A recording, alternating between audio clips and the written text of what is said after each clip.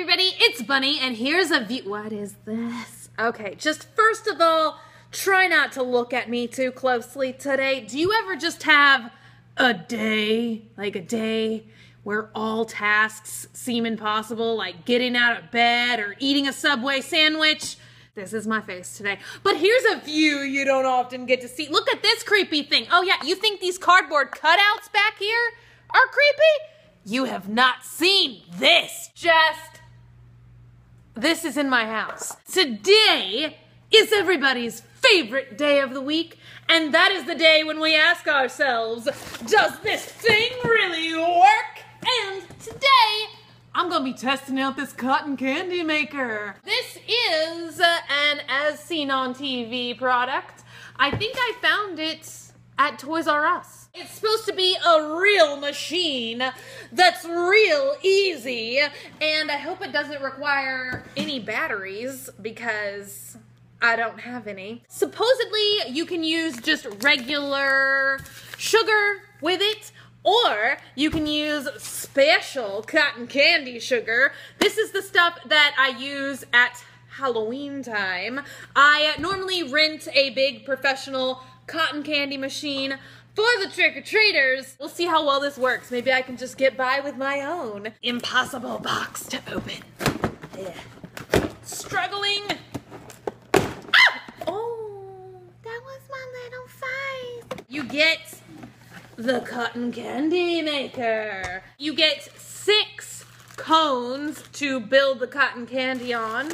And uh, thank goodness it runs off of wall electricity power. Ooh, you even get free stickers. Thank you, Crazy Arts. Oh, what?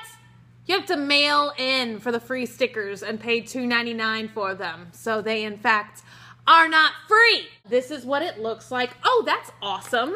It also immediately suctions to the table. Like when I just lifted it, you hear that? It sounds like frogs. Maybe I should read the instrucciones. Excuse me for one second. Well, the good news is this is ridiculously simple and requires no assembly or thoughts whatsoever. You just plug it in, and then there are three kind of notches in here. I'm not sure if you can see what they say, but you just turn it on. I'm trying to spin it. You can't see the spinning action. The struggle is real. Oh, there we go. All right. Hear that sound? The whirring sound. There is a red status light inside of here, and I think it said that it takes three minutes, and then it will be hot enough for us to pour some sugar inside.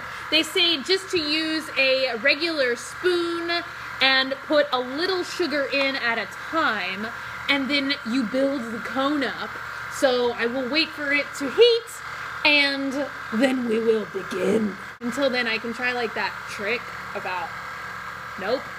How do you how does this happen? How do you balance Maybe my nose isn't pointy enough.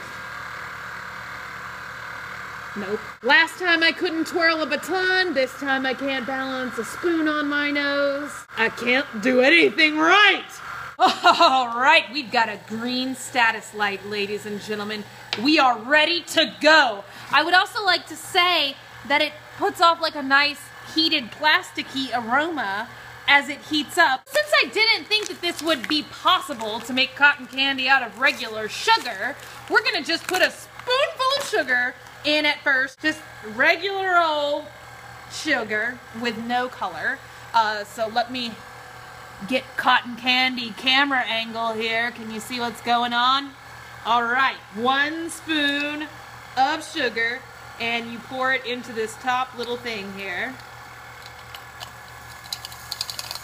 Ooh, sugar is flying everywhere. Can you see the slight webbing? That did not make any cotton candy. Well, I take it back. It did make a teeny tiny little amount. Oh my goodness, this is ridiculously fun. Are you seeing this? Oh my goodness, it feels like Halloween.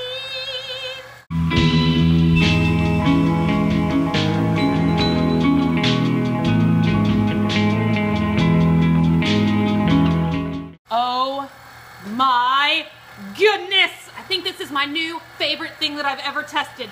This is ridiculous fun. Oh my goodness, it's making more. It's making more cotton candy. This is how much cotton candy one spoon of sugar makes. I am incredibly surprised. So I'm just gonna take a little sample bite. It looks like ghost cotton candy. oh, I wish I could share some with you. Go ahead, you take a bite first.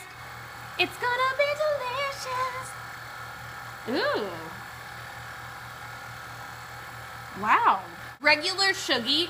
Shuggy. I just want that to be like a new pet name. Can I start calling Dogman Shuggy? Shuggy Wuggy! I wish he was here right now so that he could sample some of this delicious cotton candy. Hmm. Wow. It tastes just like real cotton candy. I'm gonna try real cotton candy sugar right now. Also, just because I honestly want to make more cotton candy. I'm just gonna take a spoon of Silly Millie Pink Vanilla. This is like one of my favorite flavors. This is like thicker granules than regular sugar. I'm not sure if you can tell or not. Whew, that's the only crazy part. That is a little bit messy. I'm not sure if you guys can see teeny tiny sugar granules flying out of the machine. Oh, you can't see what I'm doing right now either. All right, making some cotton candy. Making some cotton candy.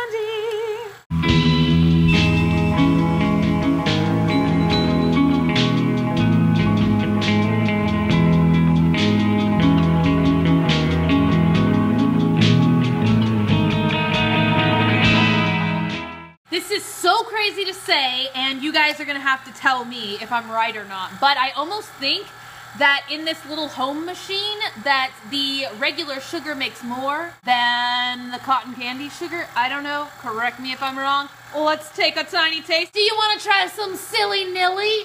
I know you do. Okay. Mmm. Delightful.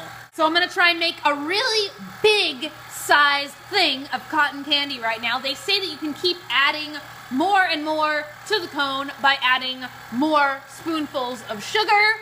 So, let's see if we can make a really big, awesome looking thing of cotton candy. I kind of made a mess of this. Overall, I have got to give this thing a 10 out of 10. It is right up there with the Wubble Bubble Ball in some of my all-time favorites.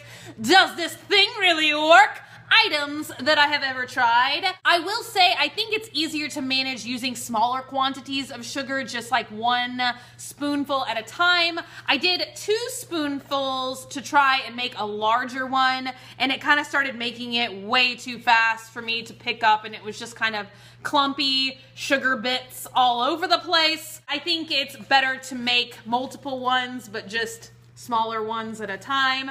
The only thing that I will tell you guys to be very cautious of, especially if you're buying it for kids, is to never ever let them touch the blue part in here that is metal. It gets extremely hot and I kind of just burn the snot out of myself in a couple different places trying to clean out clogged cotton candy. So you just have to be really cautious about that. And you also have to be really cautious if there's little kids around, especially when you're adding the sugar, or even if you're an adult, like you might want to wear sunglasses or something when you pour the sugar in because it kind of throws sugar all over the place. Like there is sugar all over my lap. Can you see this?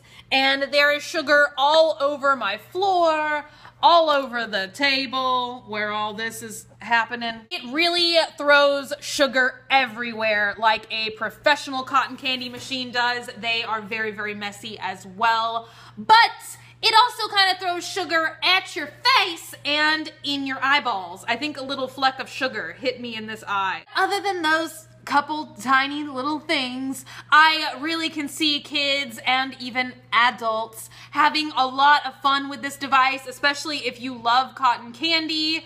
It's really delicious either way, whether you use flavored cotton candy flavoring sugar or if you use regular sugar. I think that besides the device, the other things to keep using the machine can be found super cheaply. It automatically shuts off after every 30 minute session to cool down and there is a whole step about how to disassemble it so that you can clean it and you're only supposed to wipe it down, not submerge it in water. The cleanup process is probably pretty easy. Thank you guys so, so much for watching and for being here today. I'm glad I got to share some cotton candy magic with you all. I'm gonna bust out a broom and a Swiffer sweeper and go ahead and mop up my entire house before the ant invasion starts. Like this video if you enjoyed this week's episode of Does This Thing Really Work?